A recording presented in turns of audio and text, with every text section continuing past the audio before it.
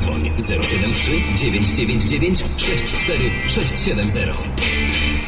Tropami Wysockiego, piątek 14 września, sala teatralna Poznań, godzina 20. Jedyny i niepowtarzalny koncert pieśni legendarnego Włodzimierza Wysockiego. Oryginalnie wykona Bart Syberyjski i Jewgen Malinowski. Zapraszamy!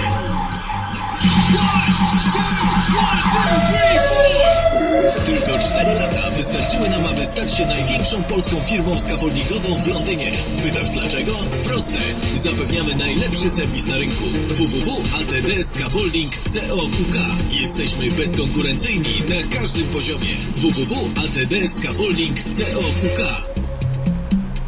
Minęła 12. Big Ben. Tylko w Polskim Radiu Londyn.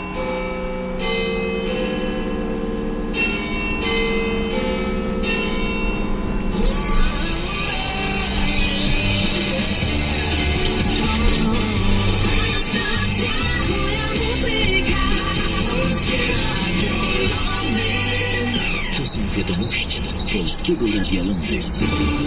Wiceprezydent Częstochowy odwołany to w związku z podejrzeniami o jego udział w wypadku drogowym. Służby kolejowe naprawiają uszkodzoną trakcję po wypadku na Podlasiu. Utrudnienia w ruchu pociągów na trasie Białystok-Warszawa mogą potrwać do jutra. W poniedziałek rząd w Budapeszcie zdecyduje o krokach prawnych po uruchomieniu artykułu 7 wobec Węgier. Minęła 12 czas na wiadomości. Anna Zaleśna-Sewera. Zapraszam. Mirosław S. nie jest już wiceprezydentem Częstochowy. Jego obowiązki przejął ktoś inny. Poinformował o tym rzecznik Urzędu Miasta w Częstochowie Włodzimierz tutaj. W związku z informacjami na temat zdarzenia drogowego z udziałem Mirosława Soboraka, jakie dotarły do Urzędu Miasta Częstochowy, e, prezydent miasta cofnął upoważnienie do reprezentowania organu wykonawczego gminy Mirosławowi Soborakowi, a następnie odwołał go ze stanowiska. Mężczyzna został zatrzymany przez policję wczoraj rano. Jest podejrzewany o potrącenie dziesięcioletniego rowerzysty i ucieczkę z miejsca zdarzenia. Dziś ma być przesłuchany w prokuraturze. Do jutra mogą potrwać utrudnienia w ruchu kolejowym na trasie Białystok-Warszawa. Rano w miejscowości Dworaki Staśki koło Łap pociąg osobowy uderzył tira, który na niestrzeżonym przejeździe wjechał na tory.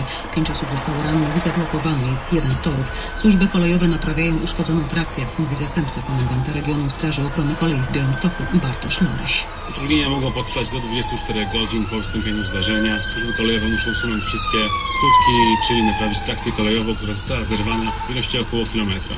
To nie pierwszy taki wypadek na tym przejeździe. Przeważnie do wypadku dochodzi po niedostosowaniu się do znaku stop. W tym roku doszło do dwóch wypadków na tym przejeździe, w tym miejscu. Dostosowanie się do znaku stop wyeliminowałoby i liczbę wypadków do zera.